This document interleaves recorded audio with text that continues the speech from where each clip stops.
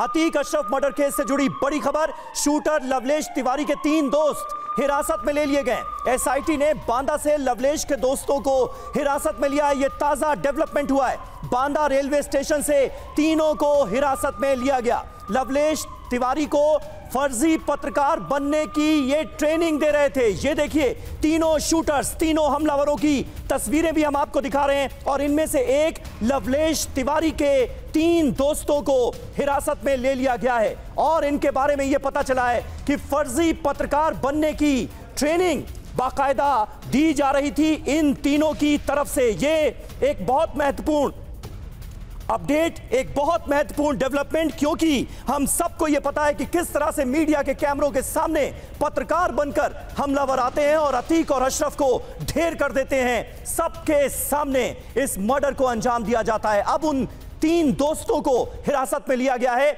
जो कि लवलेश के साथ संपर्क में थे और पत्रकार बनने की ट्रेनिंग इन्होंने दी थी। ये एक बड़ा डेवलपमेंट। अतीक अशरफ मर्डर पर आरोपियों का एक कबूलनामा सामने आया है। हत्याकांड से 46 घंटे पहले प्रयागराज आए थे आरोपी। आरोपियों ने कहा, नाम कमाने के लिए मर्डर की वारदात को अंजाम दिया। सोशल मीडिया से अतीक के अस्पताल पहुँचने की जानकारी मिली थी। मीडिया के सामने मर्डर से ज़्यादा नाम होता, इसलिए इस अंदाज में मर्डर को अंजाम दिया गया। ये शूटर्स, ये हमलावर, ये बात मान रहे हैं। मास्टरमाइंड के सवाल पर चुप रहे। तीनों आरोपी ये बहुत महत्वपूर्ण है, बहुत अहम है, क्योंकि लगातार पुलिस की मंशा, पुलिस इन्वेस्टिगेशन इस वजह से भी आगे बढ़ाई जा रही है, ताकि इन तीनों के मास्टरमाइंड के बारे में पता लगाया जा सके। लेकिन मास्टरमाइंड के नाम पर इन तीनों ने चुप्पी साध रखी है। विपिन चौबे हमारे संवाददाता इस वक्त हमारे साथ मौजूद हैं। विपिन कई बड़े डेवलपमेंट हुए हैं। एक तो लवलेश को फर्जी पत्रकार बनने की ट्रेनिंग देने वाले तीन उसके दोस्तों को हिरासत में लिया गया है। यह पुलिस के लिए एक बड़ी कामयाबी, लेकिन खास बात यह है कि ये तीनों शूटर्स, तीनों अपराधी अभी तक मास्टरमाइंड का नाम नहीं बता रहे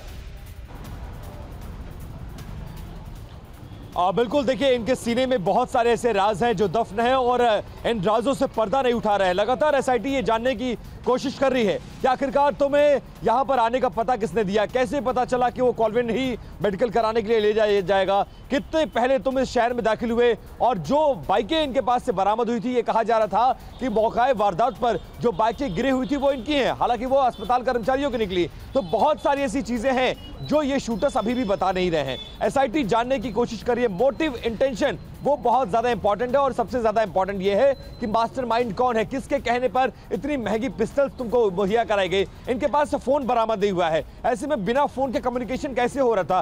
किस होटल में रुके थे? वहाँ से अस्पताल तक का सफ़र कैसे तय किया? और कितने पहले से अस्पताल में ये लोग हाथ लगाकर बैठे थे? बहुत सारे ऐसे सवाल हैं जिनका जवाब इनको देना चाहिए लेकिन ये जवाब नहीं दे रहे और इसके साथ ही खबर ये कि बांदा से एसआईटी ने तीन लोगों को हिरासत में लिया है। ये तीन लोग यूट्यूब चैनल चलाते हैं और लवलेश तिवारी को पत्रकार बनने की ट्रेनिंग दे रहे थे। और बाकायदा जो माइक आईडी और कैमरा बरामद हुआ है, वो भी इन्हीं के ज़रिए पत्रकार की शक्ल में पहुँचे। शूटर लवलेश तिवारी को मिलने की आशंका है। लिहाजा उनसे भी पूछताछ अब एसआईटी करेगी।